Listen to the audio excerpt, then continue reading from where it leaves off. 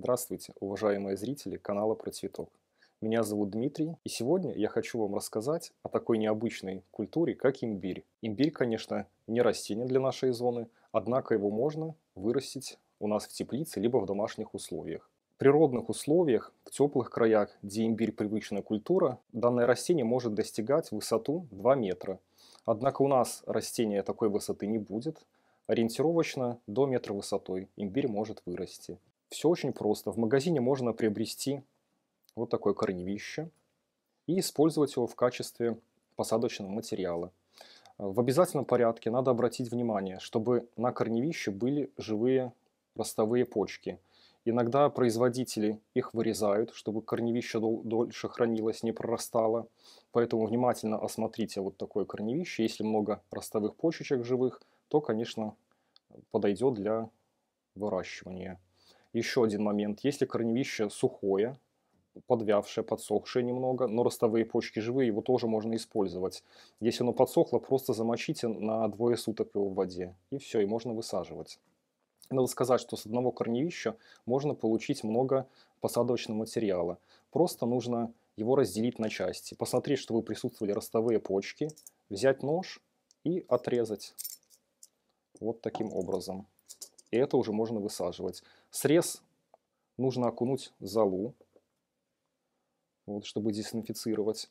Дождаться, чтобы он немножко подсох этот срез, и высадить в подготовленную почву. А, важный момент. Э, имбирь имеет очень долгий вегетационный период, от 8 до 10 месяцев.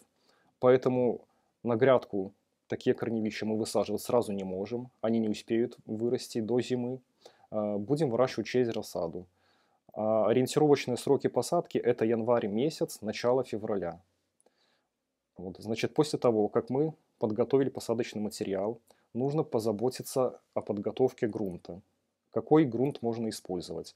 Можно приобрести обычный грунт для овощей, либо комнатных цветов в магазине. Главное, чтобы он был легким и плодородным. А можно составить грунт самостоятельно. Взять одну часть листовой земли, одну часть зернового зерновой земли и одну часть песка. Все смешать в равных пропорциях и получится субстрат э, для посадки имбиря. Надо сказать, что имбирь не любит прямые солнечные лучи. Поэтому после посадки в горшок их лучше поставить где-то на стол, чтобы попадал свет, но он был рассеян.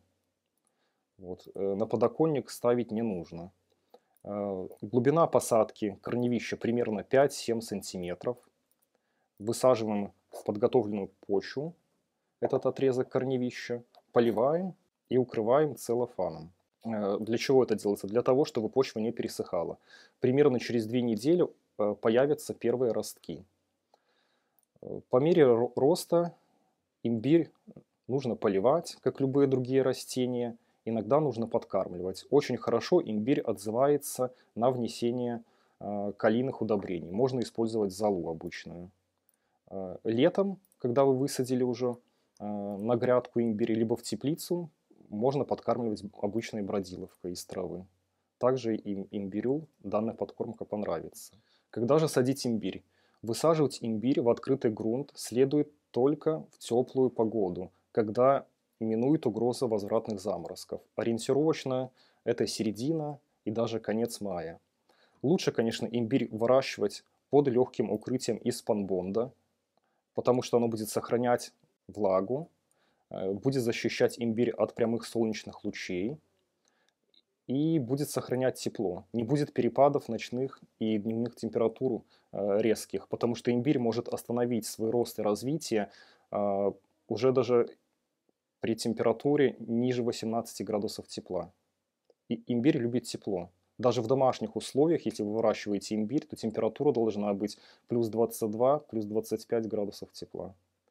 Э, по моему мнению, лучше имбирь все-таки выращивать не на грядке, а в теплице. Почему? Потому что э, уже в сентябре у нас наступают холодные ночи, и имбирь прекращает свой рост останавливается в росте. Поэтому уже в середине сентября нам нужно выкопать будет с грядки имбирь, пересадить обратно в горшки и занести в помещение для доращивания. Но если имбирь растет в теплице, то он может расти до октября месяца. В теплице более э, стабильная температура. есть тепло. И плюс в теплице э, есть небольшое затенение.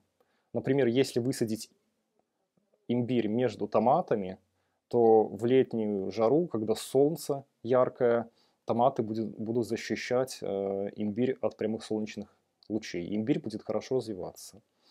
Э, вот в летний период, конечно, в теплице э, почва быстро пересыхает, нужно обеспечить полив, а лучше замульчировать место посадки.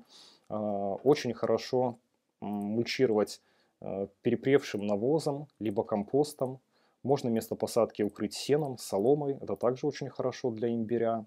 Благодаря таким вот нехитрым действиям имбирь вполне вырастет до октября месяца, и вы можете собрать урожай.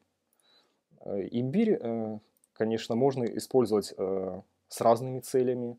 Его используют и в лекарственных целях, например, готовят очень полезный чай при простудных заболеваниях. Даже есть мнение, что имбирь помогает при коронавирусе. А еще имбирь – отличная специя. Его добавляют во многие блюда, а также выпечку, например, в тоже имбирное печенье. Всем рекомендую посадить имбирь у себя на участке, либо выращивать у себя в квартире. На самом деле это не так уж и сложно. Спасибо за внимание, ставьте лайки, подписывайтесь на наш канал. До новых встреч!